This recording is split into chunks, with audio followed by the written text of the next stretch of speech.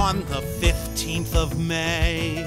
In the jungle of Nool, in the heat of the day, in the cool of the pool, he was splashing, enjoying the jungle's great joys when Horton the elephant, Horton the elephant. Horton the elephant, heard a small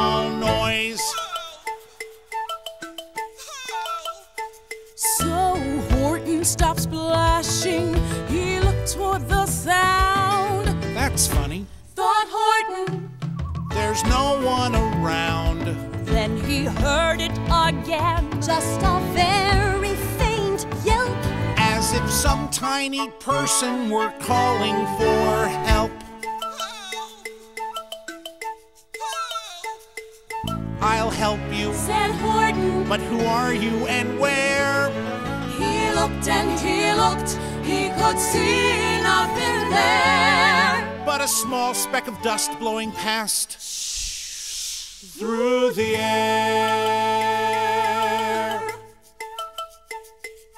I say, how confusing. I've never heard tell of a small speck of dust that was able to yell. So, you know what I think? I think there must be someone on top of that small speck of dust. Some poor little person who's shaking with fear that he'll blow in the pool. He has no way to steer.